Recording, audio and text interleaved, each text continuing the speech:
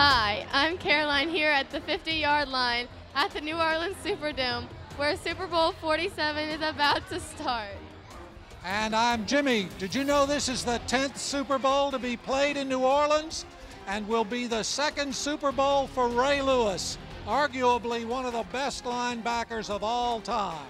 It will also be the first for Colin Kaepernick, the backup startup who filled the 49ers quarterback Alex Smith when he was injured in 2012.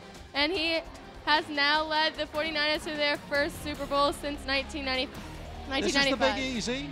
I'm Jimmy, broadcasting from the Chevron STEM Zone mobile unit.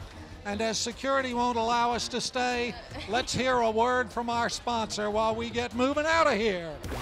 The Science of Football is sponsored by Chevron in partnership with NBC Learn. We believe science and technology will play a critical role in America's future, which is why we're committed to getting more of our kids involved in science, technology, engineering, and math at a younger age. Help us inspire kids to get involved with STEM programs.